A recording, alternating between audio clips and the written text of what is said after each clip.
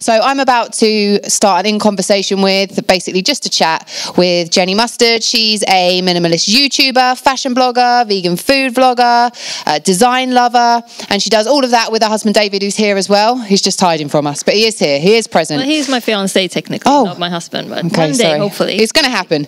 I've put it out there now. You're getting married. Let's talk about that. Um, what? So, Jenny, let's get started with you and YouTube. You've got a huge YouTube ta- channel. You have a big following. What was it that made you want to start doing YouTube? Um, so it started actually as a clothing website. Yep. Uh, I was selling vintage clothes, and then um, I just thought that you know taking photos and expressing myself was more fun than the actual selling and sourcing vintage stuff. So I started doing Instagram, and then David uh, is a he studied film and TV production. Yep. So he was like, maybe we should stop making videos. So we started making vegan cooking videos, and then he just kind of escalated from there. It's pretty handy that you had him then, because then it's like you you can come up with the ideas, and then he can be the creative behind making those videos, making them look good, doing the the, the horrible job that is editing as well. Because Well, I mean, we we uh, we do it both. Right, We, okay, we so kind of we kind of we like to push the annoying things on the other person. So Hmm. you know, what's your favorite thing about doing YouTube? Would you say? I think it's the just the um, kind of community feel that you get. Just the. Um, it's such a social thing, even though it's just me, you know, by myself with David in a room and looking at a camera. You get so much interaction with people that you would never ever have, would have met otherwise. Mm. And you know, if I just ask a question in a video, I would get like, you know, so many answers from different people all around the world, and it's very, it's very cool, weird, and super inspiring. When you started YouTube, did you expect that you would get that audience and that following, or was it just like, oh, let's just start this and see what happens, and it just grew organically, or did you kind of have a plan? let's just say I had a dream. Yeah. But plan is maybe a bit strong. But we always had like 100k on YouTube was like a it was a mirage for us. Ah. So when we hit that milestone, it was really you know such a cool feeling. What did you do to celebrate? Did you do anything in particular? Can you don't remember? We probably did like a celebration video. Yeah. yeah. thank you, and then you know champagne. Yeah, of course. Obviously, why wouldn't you? Um, so let's talk about minimalism. When did your love of minimalism begin? Um, I actually I didn't like find minimalism. It was more like I was kind of born this way. I think so. Mm-hmm. For me, it was always like a natural state of like trying to simplify everything. Yeah. I have like a very you know overactive brain. Like I Mm. overthink things. So for me, it's always uh, really nice to kind of try to streamline and you know peel off all the unnecessary layers just Yeah. to have a calmer life. Um, so then when I heard about the concept minimalism Mm. as a lifestyle concept, I always thought minimalism was like an aesthetic. Yeah. So when I heard about it, I was like, oh, this is what I am. So it was more like coming home and like, uh, you know, finding a concept that was, you know, fitted me. Yeah. Yeah. So you were kind of already living it, and then you found this definition, and you Yes. think, right, that's exactly. So for people who don't know what that means, can Hmm. you explain a little bit to us about what that lifestyle is like and how it works? Uh, I think it's it's so uh, individual, and that's one of the things I really love about minimalism is that there isn't like you know a certain set of rules Right. or because it's not an ethical choice. It's not like being vegan where it's like you're vegan, you don't eat meat. Mm-hmm. But if you're a minimalist, you can do more or less whatever you want. It's not like so. It's very like um. It's more about like if you think about your life, what is annoying you, and then Yeah. reducing that. So it's like um, I think you know you think about minimalism as being less, but for me it's more about if I know what I really love in life and what my passions are. I want to reduce everything else so that I have like time and energy and money enough to put on the things that I'm really passionate about and I really love. Yeah. So, what are some of the benefits of a minimalist lifestyle for you? Because obviously, we know it's different for everyone. But No, I think that's it. That I feel like I have enough time to do my job, which Yeah. I love. I have enough time for David, whom I also love. Ah. Um, I have enough time to read. That's a passion of mine. And you know, like um, I have enough money to spend on my wardrobe because fashion is a passion Yeah. for me. I don't want to spend money on. I want to spend money on food, traveling, and clothes, and that's it basically. So then I don't like. I don't own a car. I don't have kids. Mm-hmm. It's just like I don't want to you know, I don't want to just have a default life. Yeah. I want to prioritize, like asking myself what I really want and then going after that. it's really weird because I think when I think of that term of uh, of minimalist, Mm-hmm. I think of kind of somebody living in a like you know an apartment that's got just like a bed, a table, a chair, and then they open their wardrobe and they've got like one t-shirt, one jumper, one pair of trousers, Yeah. one pair of socks, maybe two pairs of pants. Um, but that's not what it is. I mean, I think maybe those are the kind of minimalists we see Yeah. because the the more extreme you are, obviously, the more interesting you are Yeah. online. Like, oh wow, that's like look at my weird lifestyle, kind of. uh, and and like when I started doing minimalist videos, I had a really weird lifestyle Mm. because I did like I was living out of a suitcase. I was moving between countries. I didn't have a home for like I don't know over a year. I was Mm. just moving from Airbnb to Airbnb. So it made sense for me to start talking about it then because I was living such a an ex- in an extreme way Yeah. as an experiment, kind of. Uh, but now I have like a maybe not a normal flat. That would maybe be a bit of an exaggeration because I do like things to be white and clean and Yeah. quite sparse. But it's not like the dentist office. I don't think it is anyway. I'm not sure what everyone else thinks, but What I find really interesting, and, and when you were talking about um, minimalism, is uh, the, the fact that you talk about your mind activity as well, as if you know those two things are kind of linked. That this idea of having the more stuff we have, the more stuff we have to worry about, Yeah. um, and then kind of you know getting rid of that and siphoning it off and narrowing down what it is that we focus on, almost kind of takes away some of that mind chatter. Mm. Yeah, that's that's exactly it for me. Um, and I think for everyone who, who is kind of like scatterbrained and have two thousand ideas all the time and can't shut off their brain. Uh, like for instance, going to bed, I can't sleep if like my room is super messy and there's colors and patterns everywhere. It just like agitates me more. So I need to like just make sure the the tidier it is, the more I can just like let my brain kind of calm down and Yeah. and all that. I need you to teach me some of that. um, so let's talk about you and David, because obviously he's a, a big part of, of what you do. You do it together. How did you and David meet? Uh, the kid friendly version is the kid friendly version. we, uh, Are we all adults here? we we we had mutual friends. Let's Okay. just leave it at that. okay. I know there's more to this story, and I feel like I want to tell you in the green room later. Okay, okay. And then I'll tell it. No, I won't tell everybody else, honestly.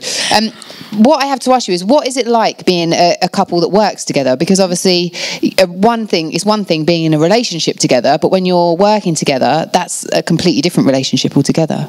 Sure is. Sure is. Um, so I mean, for us, it was always the goal to Yeah. work together. So it was a plan. It didn't just happen uh, because I feel like, you know. If you if you think about you spend eight nine hours every day at work Mm-hmm. and then you know when you're older and one of us dies I don't want to be like "Ah, that was you know time wasted when we weren't together. So I want to squeeze out as much as possible uh, of our time together. So that's basically why. Also we work really well together. I mean we have stressed out days and those days you know aren't fun. Mm. and those days I wish we didn't work together but most of the time it's just a dream. Yeah. uh, it's so much fun. And I think like whenever I talk about this um, with other couples it's like 80% of the other couples I talk to are like I could never do that. And 20% are like oh that would be so cool. So I think it's, it's kind of like um, a division between couples who really really want to work together and be in each other's shit all the time and Yeah. people who are like oh it's healthy to have some distance Yeah, so I think different types of people Yeah. require different types of relationships, don't Yeah, they?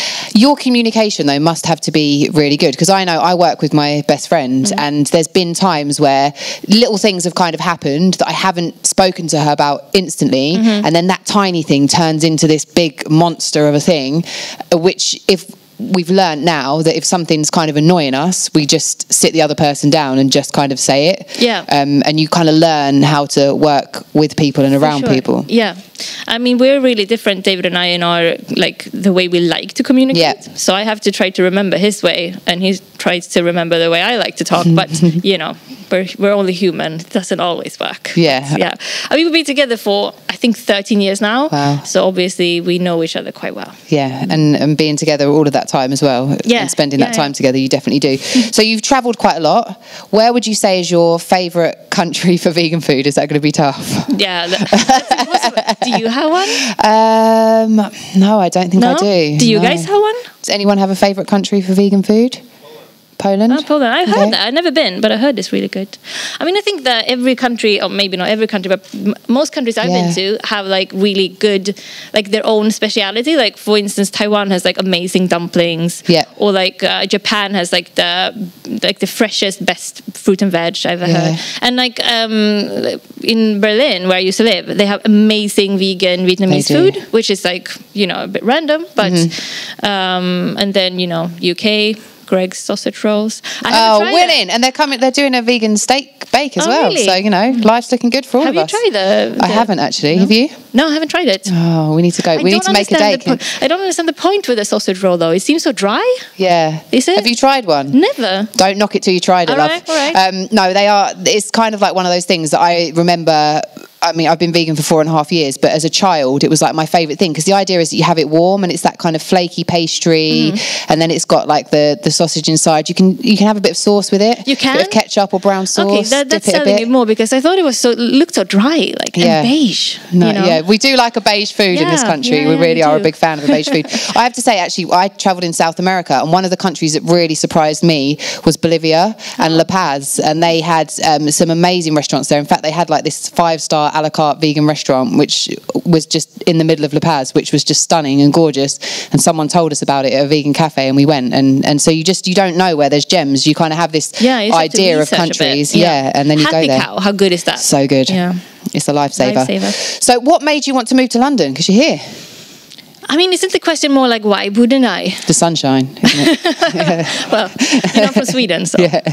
Um, no, but I think just think that London is one of those few cities which is more like a planet than a city. Yeah. It's like you get everything from all over the earth, like concentrated into like a spot on the map. map. So it's like I get really easily bored, super easily bored. So I need a place where it's like something's going on and new stuff happening all the time. So Stockholm, which I'm from, is like it's too boring for me. It's a beautiful city, but I just I, I start crawling the the walls. yeah. Mm. So, you need to find somewhere new and then you go and do you think you'll get bored here and then you'll change? Because you've lived in a couple of different places and then you'll go somewhere else? Or is that always the plan? Is it a case, right, I'm going to stay here for a little bit, do what I want to do here, and then there's a, another country to move on to? Mm-hmm. I mean, that's that's my way of doing Yeah. life, but that's not David's way of doing Okay. So now it's Lon- London is it. That's it, Like, I'm just gonna have to stick it out. Okay, so the next question, I don't I'm just gonna stick it out. I don't want you to get in trouble because of this question, um, but it's written down, so I'm going to ask it. Mm-hmm. All right. What is your favourite vegan food in London? Ooh. Um, have you guys been to Sticks and Sushi? It's- haven't. uh, they have like this amazing um, kind of like grilled broccoli that Yeah. is uh, almost like charred, and uh, it's, it's really amazing. I mean, broccoli. It might sound so boring to say that, like, oh my, f- my favorite vegan food is broccoli. broccoli. like, come on. but, but actually, it's, it's so yummy. Yeah. Just, just make sure that you ask uh, if the sauce is vegan because sometimes they're a bit confused about that bit. Uh, but for like convenience food or like fast food, I do like. Itsu's dumplings. I'm a huge dumpling head, Yeah. so I usually go for those. Okay, cool. Like a quick bite. Have you been down to vegan nights yet since you've been here? No. You haven't tried it out? Um, I think, is it the first Thursday of every month or the last Thursday of every month? I'm not sure, um, on Brick Lane. But it's really good because there's loads of different. But isn't the, the food the food court in Brick Lane? Isn't that always vegan?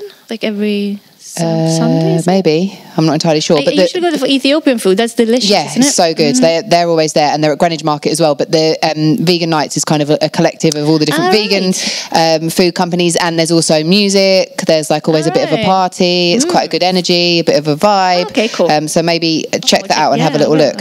We're going to go back to YouTube now. What do you think is the secret to doing well on YouTube? Because a lot of people start YouTube, they have this kind of idea, like you did, this you know this goal of 100k or whatever the, the goal is, and then they might start and it just doesn't happen. So what would you say is that kind of for growth. Like yeah, we're talking yeah. about like so not having fun. We're talking about numbers Yeah. now. Okay, so um, um, you know, like yeah, I want to say you know.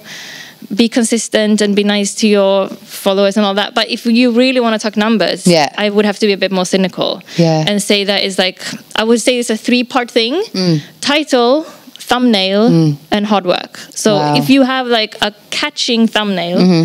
and a good title for that video, that is ninety percent of of growing on YouTube. Mm. If you then have um, a video that kind of backs it up, Yeah. like uh, decent quality and entertaining, Yeah. then then you're golden. So clickbait, everyone, is That's what it, we're going that's for. you heard it here first. yeah, but I think I mean that definitely works. But I think you're you're what you're saying is that the video has to be there to back it up. Yeah. And I think when clickbait doesn't work is when you have this kind of title, someone clicks on it, and then the video is something completely different, Mm. Yeah. and then the, the people are kind of disappointed or a little bit annoyed. I remember when I, I fell for this clickbait so hard. It was Yeah. like why I don't shower or something like that. Yeah. I was like, oh my god, I need to watch this.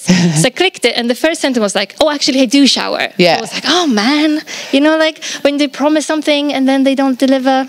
That's like it's it's hard on YouTube. Yeah, I, I'm- my mind boggles. No, I have. I've definitely been there, but it's like why I don't shower. That's the video I've got to watch. Yeah. Were you planning on not I should- I showering? should probably make that video. Yeah. But then I have to stop shower. so- Yeah, and I don't think I'd want to be sitting this close to you if you did. I'd probably yeah. put you over there somewhere, and I would just sit up here on my own. Um, Let's talk about your book, Simple Matters. Uh, it's a, a beautiful book about the Scandinavian approach to work, home, and style. What was your favourite part about creating the book? So it was a very, it was a very, very kind of quick process of doing it. So it was a lot of running around. But I have this one specific moment that I just loved, and that was um, we booked this uh, apartment in Girona in Spain. I'm not sure if anyone has been there, but it's like the most beautiful, like parts of Game of Thrones, Yeah. like the King's Landing parts. You know, the white kind of stone building. It's so beautiful. So we just booked an apartment there for two weeks, and I just had two weeks of sitting down and just writing. I had, didn't have to do any other job. Uh, so that has always been like a dream for me to write, and that was like my first kind of author's trip, you know. So I would just sit there, you know, drinking iced coffee or champagne and writing Yeah. away about being a minimalist. It was like, come on, it's just like, can you have a more cozy time? It was amazing.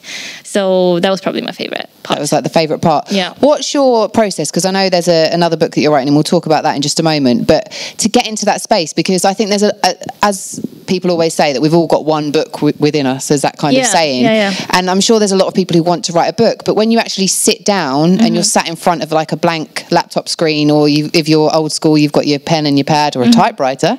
Who knew they existed? Um, but you, you kind of sit there and you're looking at this. You've got nothing, and then it's Yeah. like, where do I, you know, where do I start? And I've um, spoken to a, a lot of authors, and I always thought that people had, you know, like when you see a crime scene board and they've got like the different pictures and there's bits of strings linking all the yeah. characters together. And- yeah. But a lot of people said to me, especially when they're writing fiction, that they just literally sit there and the story, they don't know how it's going to end. Yeah. They don't know what's going to happen next. And Yeah. it just kind of flows through them. So with your book, was did you have a plan of what exactly it was going to be, or was it kind of that flow process? Well, I mean, I think uh, different people like writing creatively differently. Yeah. Uh, I've tried both ways, like sitting down, blank paper, let's see what comes out. Hmm. And I've also tried super structured, organizing who's the character, what's their backstory, and everything. This time I did it that way, like very organized. Actually, me and David came up with the whole plot and all of the characters together.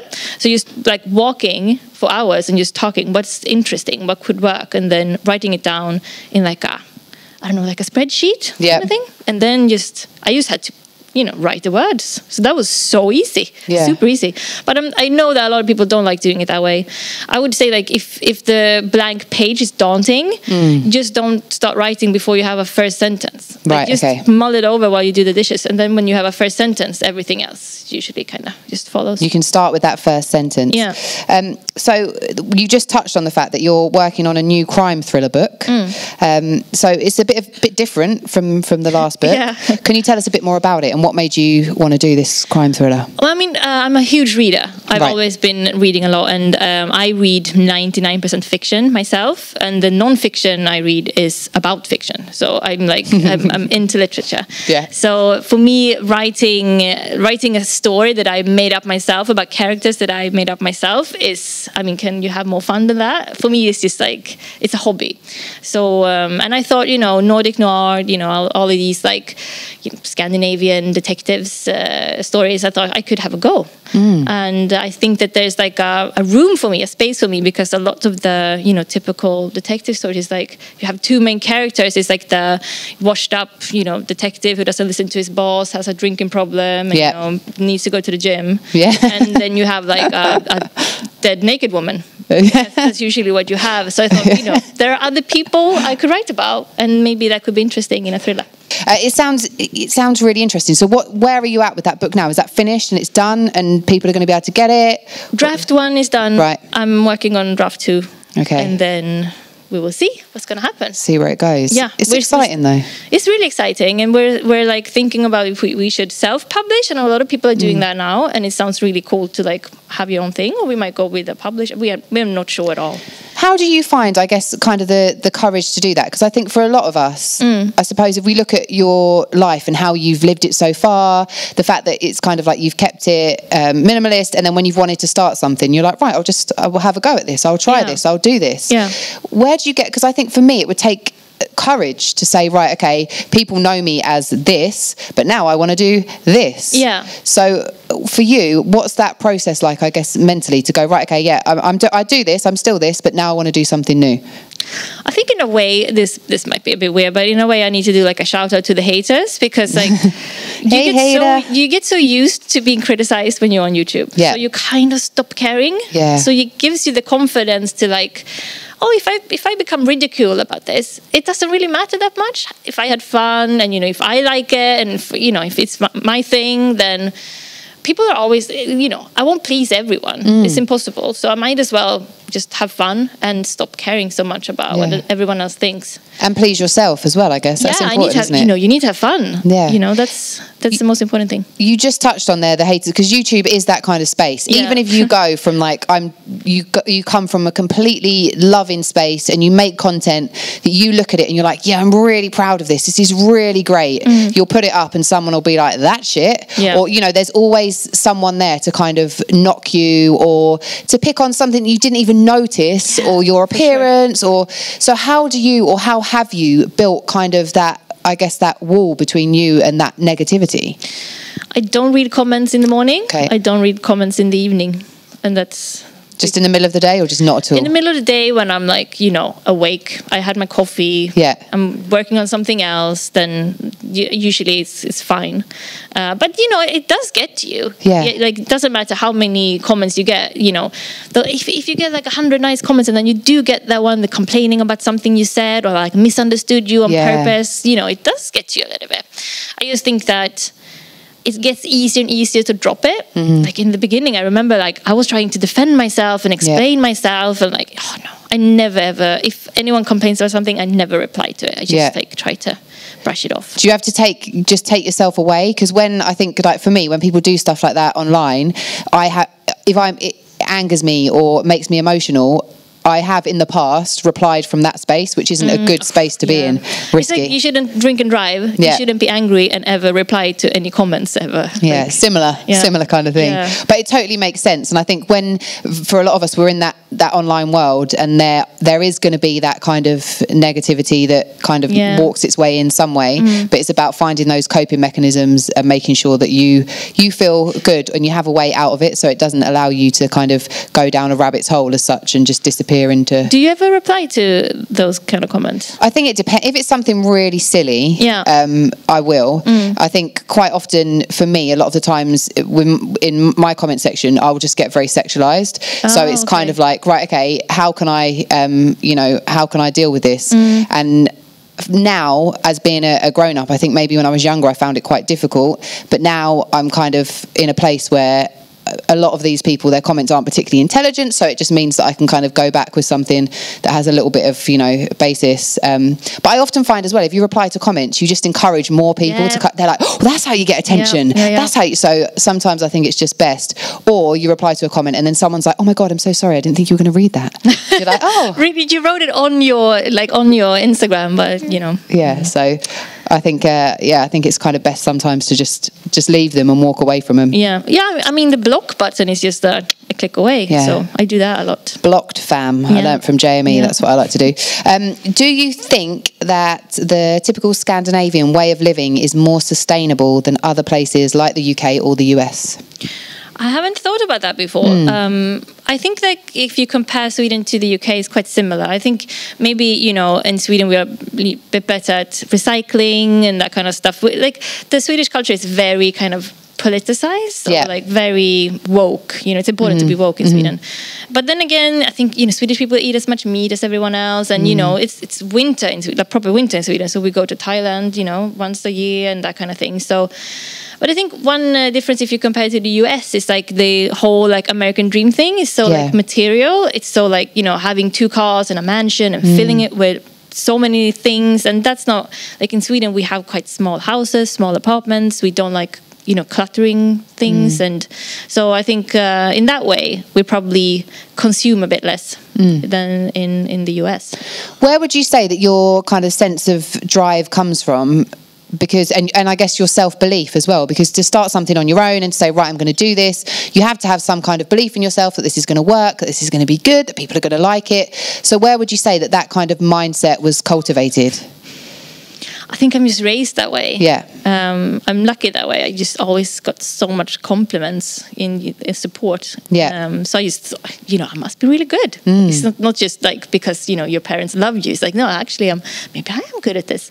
So I think that's what's really lucky for me. But um, just like when I started going online, uh, if you, I don't know if you guys remember like Lookbook, the Lookbook days. Like when you Yeah. posted like a Yeah, yeah. photo of your outfit and i was really nervous to try it and, and when i tried it and i got like nice comments back it was such a, a boost. Mm. So i think just like being online and you know 99% of, of all the reactions you get are positive. Mm. It's such an incredible confidence booster. Mm. So for me it's like you- i had a good start but then just like being online has built me up a lot. So uh, i know that like even if you know if i write a book and everyone will hate it i know that i have a group of people in the world that will love it because i wrote it and we have a you know we like each other kind which is so amazing. Yeah. So we're, we're coming to the end of our talk, but before we go anywhere, I just wanted you to kind of maybe give some advice, maybe your top three pieces of advice to people who are here and who are maybe thinking about because there's so many different things that you do, um, and they're thinking about doing something that they kind of are really passionate about, but they don't quite have that confidence or that belief or that courage, um, as we mentioned earlier, to take that step to doing that thing. What would be your advice to those people?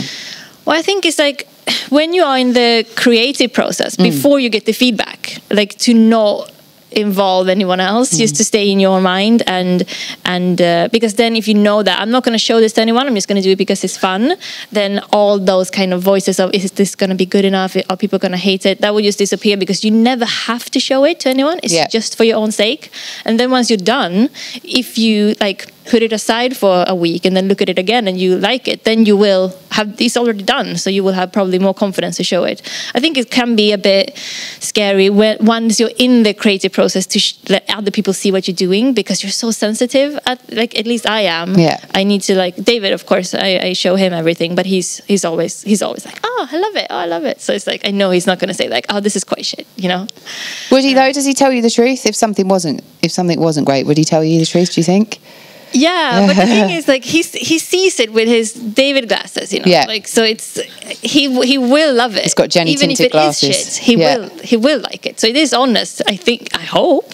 Yeah. Yeah, But just just checking. yeah, I, I think it's like it is honest, but I know it's he. You know, it, because he loves me, he will see it in another way than normal people would. Amazing. Um, we've come to the end of our conversation, so thank you so much for being here. Just quickly tell people what you've got coming up for. Well, I guess we're nearly at the end of the year now, so you've got the book that's coming on. Anything else that you want to tell people about? It's just business as usual. YouTube. We have a podcast together, David and I, called The Mustards. If you guys want to listen in, and yeah, that's it. I think. Okay, brilliant. Thank you, everyone, so much for listening and for being here. The amazing Jenny Mustard. Thank you. Thank you.